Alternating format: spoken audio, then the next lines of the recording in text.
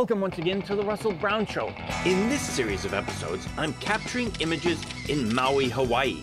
I'm going to show you tips and techniques for photographing with an iPhone. What? You'll learn how to capture it right, and then you'll learn how to process it right with Lightroom and Photoshop. Let's get going with this next episode. Wow, here I am at Maui Floral.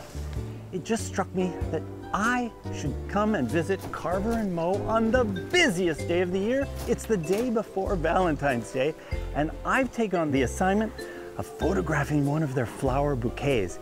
Let's see what we can do right here on the spot. Let's go. I have a quick backdrop. I've got my iPhone set up here with a Profoto strobe. Take a look at that. I've got a little soft box on the strobe. We have natural light coming in. The assignment's quick. It's got to be simple. It's got to be great. I'm to hit the strobe. Oh, look at those colors pop. This is coming right in and giving a really nice soft value to this. I think with some adjustment I can make in Lightroom now, I can go in, work on this, finish this up, get it on the web today, and go, go, go.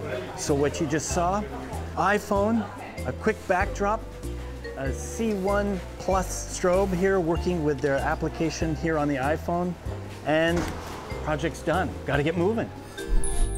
If you want to learn more about the Photoshop and Lightroom techniques that I used in this episode, be sure and go to russellbrown.com. You'll find all of the featured tutorials at that location.